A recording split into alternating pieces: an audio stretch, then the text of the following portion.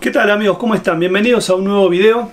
Hoy para hablar de un tema muy específico en cuanto a la comparación que muchos hacen a lo que está sucediendo en Latinoamérica, más específicamente. Vamos a tratar de comparar tres países del cono sur, que serían Argentina, Chile y Uruguay. Tres países que tienen connotaciones o tienen parámetros totalmente distintos actualmente podemos ver a un Chile con Piñera situado prácticamente en la derecha. También lo vemos a Uruguay, que la calle está ciertamente también a la izquierda. Y por otra parte, vemos en Argentina, donde aparentemente el eh, presidente Alberto Fernández está situado en el centro o a la izquierda, depende qué periodista te lo cuente o te lo diga. Vamos a analizarlo fundamentalmente a partir de lo que está sucediendo con este grave inconveniente mundial que cada país o cada estado, cada gobierno ha tomado caminos muy distintos en la forma en la cual le han hecho frente a este problema de salud. Vemos cómo Chile ha colapsado, cómo hay declaraciones de algunas personas que no son para nada bienvenidas en la sociedad chilena. Sabemos que la sociedad chilena está dividida entre los ricos o multimillonarios y una parte de la sociedad o gran parte de la sociedad que es pobre. Sucede algo muy parecido en Argentina también, donde quizás la división social no es tan marcada, pero también decimos que en cierta medida la sociedad argentina está dividida en ciertos sectores donde hay personas que tienen extremadamente eh, mucho dinero. Y también tenemos a Uruguay, este pequeño país donde muchas veces los porteños, con ese dejo que tienen de superioridad respecto del resto del planeta, piensan que, bueno, es una provincia argentina. En realidad no lo es, es un país, es un país que ha logrado lo que Argentina y Uruguay no han podido lograr durante muchos años. En Argentina las ideologías quizás se han profundizado, en Chile también se han profundizado las ideologías, donde vemos que la izquierda cada vez gira más a la izquierda, la derecha se va más a la derecha. Lo mismo sucede actualmente en Argentina, esto que han denominado algunos periodistas la grieta, y que son ellos también quienes han ayudado a que esta grieta, a esta división en la sociedad argentina se produzca. No sucede lo mismo en Uruguay.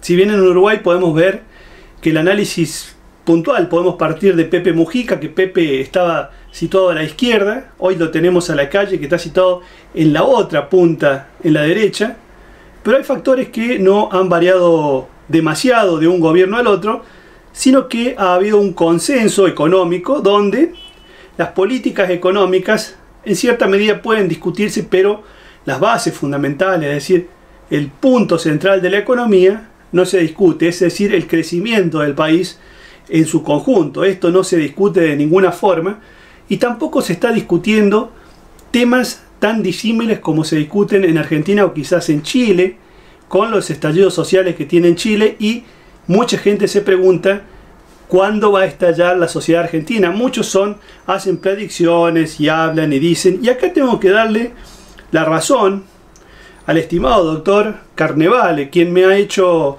la mención y me ha pedido, por favor, podés hablar de este tema, poder tocar este tema, lo que está sucediendo y la diferencia en los diferentes países, especialmente Argentina Chile, me decía. Y bueno, ¿qué veo yo? Que más allá de las cuestiones que nos unen con los hermanos latinoamericanos, en nuestros países se ha producido un enfrentamiento ideológico que no es para nada un accidente, es decir, no es un accidente de la historia lo que está sucediendo. Es algo que ha sido elaborado previamente y que es también, podemos decir, el combustible necesario para que esto suceda está dado por la prensa, la vieja prensa, los viejos periodistas que actualmente todavía se resisten a dejar sus lugares a otros más jóvenes con menos, menos ideología, pero convengamos un punto y tengamos en cuenta algo fundamental. Estos periodistas, estas estrellas de, de todas las radios, ustedes los conocen bien, estos periodistas de, de informes y de investigaciones. Créanme que muchos se sitúan supuestamente a la derecha, otros estuvieron situados a la izquierda, después pasaron a la derecha. Sucede exactamente lo que sucede con los políticos. Los políticos hoy están en un lado, mañana están en otro. Es así como el peronismo tiene el más variado abanico de ideología. surgimos de la extrema izquierda hasta la extrema derecha. Lo mismo sucede en el periodismo, pero en el periodismo son menos. ¿sí?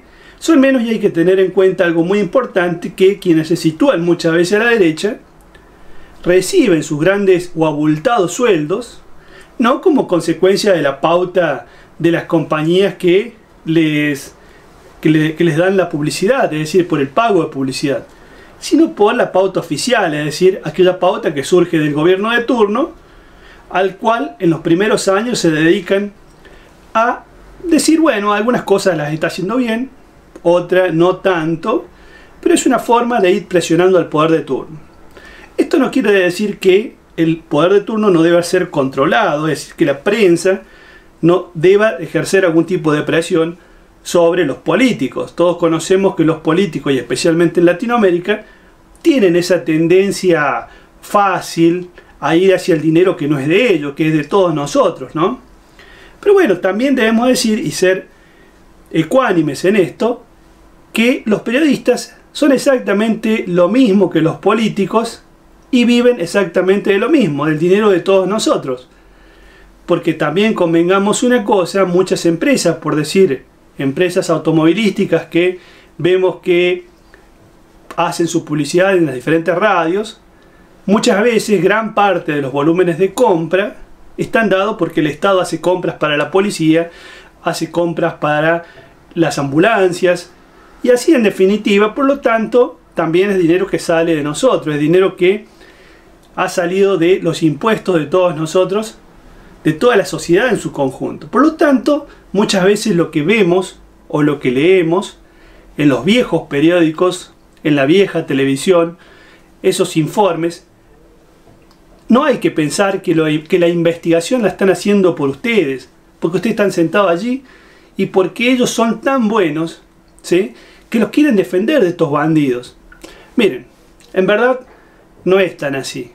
En realidad lo que están haciendo es defendiendo su propio negocio, como lo hacen y lo han hecho siempre. No está mal. Es una empresa de carácter privado, tienen que hacer sus negocios. Lo que no está bien es que nosotros le creamos a estos profesionales de la palabra, por decirlo de algún modo, porque en realidad son profesionales de la palabra y saben cómo transmitir sus ideas. Y si ustedes se quedan pegados al televisor o se, se quedan pegados a la radio, van a terminar discutiendo con su familia, con sus amigos, y no van a tener al final de cuentas, no van a saber cuál es la solución, pero van a discutir vehementemente porque creen. Creer no es lo mismo que saber. Decía un profesor de la Facultad de Derecho, cuando nos decía, hay un libro de un mexicanito, creo que era Jiménez, se llamaba Creer, Saber, Conocer. Una cosa es creer, otra cosa es saber y otra cosa es conocer. Creer, podemos creer en Dios, más allá de que no sabemos dónde está. No tenemos una prueba objetiva, ¿sí? A dónde se encuentra. Saber es el, es ya va, ya profundizamos un poco más en, este, en esta sapiencia. Es decir, que ya tenemos pruebas de algo. Pero no podemos quedarnos simplemente con la palabra de un comunicador, de un periodista, por más conocido, por más credibilidad que tenga, no nos podemos quedar con su palabra, tenemos que buscar un poco más. Porque de lo contrario nos vamos a pelear con todos nuestros amigos y vamos a crear una sociedad totalmente dividida en la cual no deberíamos pelearnos con el vecino, ni con el amigo, ni con la familia. Deberíamos pensar que somos una sociedad que debemos controlar no solamente a los políticos, sino también a los medios de comunicación, que son parte, y hay que entender esto, son parte del juego necesaria, pero también deben tener algo muy en cuenta, que a partir del surgimiento de las nuevas, ¿sí? de las nuevas tecnologías, van a encontrar opiniones dispares, opiniones distintas. Porque todos sabemos que si a una misma noticia o a un mismo hecho lo vamos a ver con una diferente lupa, una diferente óptica, vamos a encontrar parámetros visuales totalmente distintos.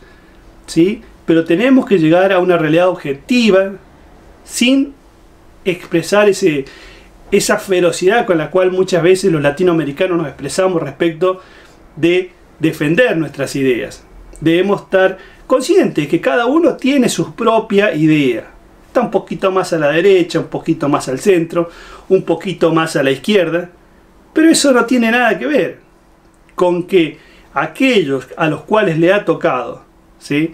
y han sido elegidos por el pueblo para gobernar, y aquellos que también tienen la palabra, aquellos que dan una opinión a través de los medios de comunicación, hay que entender que hay un juego implícito en todas las democracias imperfectas, esto hay que tenerlo muy en claro, es la, la democracia es un juego imperfecto que es el mejor entre todas las formas de gobierno, por lo tanto, no nos olvidemos de esto, tengamos claro este punto, esto es muy importante para evitar confusiones. Bueno, creo que la reflexión del día de hoy es una reflexión un poco o un tanto filosófica. Hemos partido de las diferencias entre los diferentes países, Chile, Uruguay, Argentina, y hemos llegado hasta acá donde estamos hablando un poco de la prensa. ¿Y por qué hablo de la prensa? Porque justamente es la influencia de nuestra forma ¿sí? de pensar. Una cosa es la opinión publicada, la que emiten los medios de comunicación, y otra es la opinión pública, que es aquella que nosotros nos formamos a partir de leer, de conocer, de ver la televisión, de ver las, las noticias en un medio de internet, de leer un libro y de profundizar un poco más para que no nos engañen. Espero que les haya gustado esta reflexión. Los dejo, les dejo un fuerte abrazo. Le envío un fuerte abrazo al doctor Carnevale, quien me ha pedido que haga una mención a este tema.